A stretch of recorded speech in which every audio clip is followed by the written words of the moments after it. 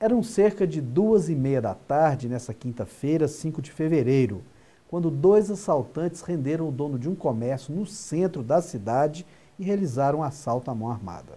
A costumeira agitação da rua Bento Ferreira dos Santos não impediu dois assaltantes de entrar no comércio Alianças Pimenta e fazer um assalto à mão armada, às duas e meia da tarde.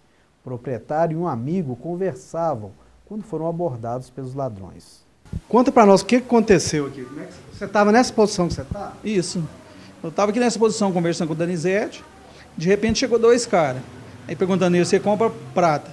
Aí ele falou que não. De repente já arrancou do revólver, levou na minha cabeça, mandou deitar no chão e já entrou em cima do Danizete ali. E já foi limpando, falando que era um assalto aí. E eu fiquei deitado de bruxo aqui. E, e aí ele, Danizete, eu não vi mais nada, não. Fiquei deitado de bruxo no lugar que eu estava aqui. Não reagiu, que é o certo. Não, não, é. Ela ficou quietinho. Você, Donizete, não ia nem trabalhar hoje? Não, não ia trabalhar. Fui em tiros levar uma juíza, que daí, uma juíza aposentada, dormiu na minha casa. Eu estava doente, fui em tiros é, levar ela e vim aqui fazer uma aliança.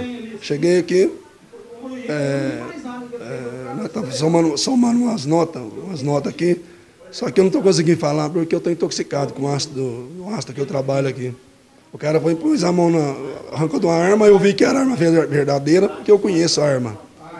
É, me mandou jogar no chão, foi lá dentro, pegou minha carteira com os documentos, 600 reais, cinco relógios e uns dois quilos de prata.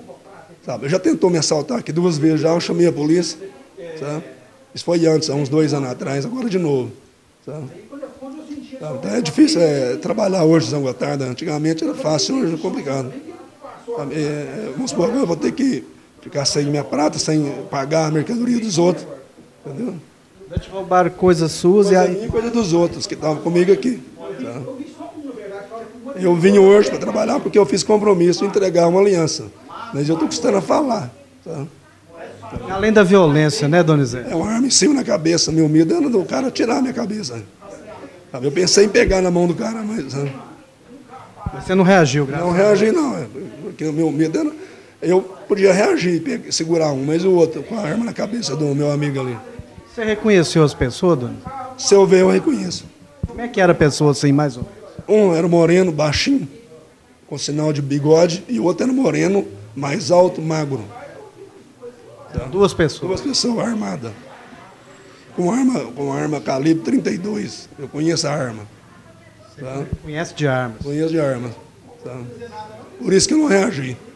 Se eu tivesse visto que era arma de brinquedo, eu, ia, eu tinha reagido. Tá? Como é que você está se sentindo? Realmente é um momento de ficar indignado, né? É, isso aqui é, se eu pudesse ir atrás dos caras, eu ia, sabe? Tá, mas é, é continuar a tocar a vida para frente. Tá? Porque é, é, não é pelo, pelo dinheiro, não, mas é pela. Na praça aqui, né, Roberto? Na praça aqui, chegar com arma durante o dia e ninguém vê, todo, todo o pessoal viu ligar para a polícia, mas agora que chegaram aqui. Ó. Vocês nem repararam como é sair aqui, não? Não, não. Ele falou para ficar deitado, eu fiquei deitado, eu dei certo. Se nós mexe, ele pega fogo nós.